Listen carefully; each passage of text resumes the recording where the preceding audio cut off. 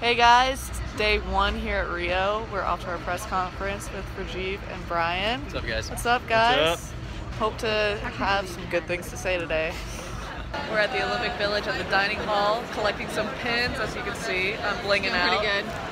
Hardcore. I'm bum rushing people. And here's the rest of everybody hanging out. All right, guys. See you tomorrow.